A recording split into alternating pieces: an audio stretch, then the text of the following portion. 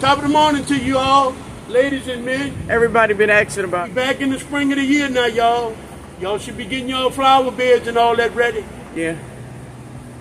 I hear some of you all been asking for me. I'm just MIA, but I'm still here. Miss Linda's been doing a wonderful job. I know I've been getting a lot of feedback that she's been influencing y'all. Remember this.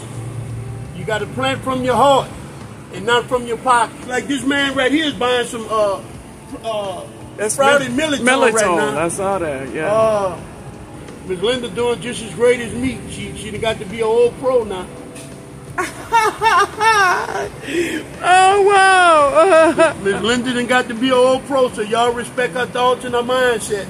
Be careful who y'all buy produce and food from. That stuff that they're selling out there ain't what it's supposed to be. It's best to be smart than to be dumb. Mm. It's too late that when you say you made a mistake, you're gonna do better. But if you think about what you do before you do it, there's a whole lot of better chance you're not gonna make the mistake and eat the right shit and you're gonna get sick. yeah. Cause that stuff they're selling out there, y'all, it ain't no joke. Y'all be careful. Yeah. Yeah.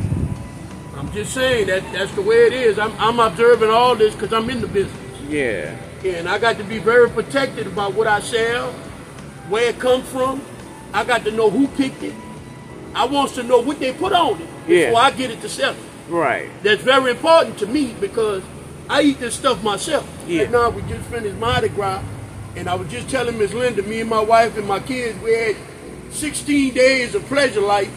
So now it's time to go back to work to Yeah. put that money back in the bank that we, you know, Yeah. Have fun with. exercise ourselves a little bit, you know. Yeah. And I'm gonna tell y'all this: be careful who you say who your friend is. Yeah.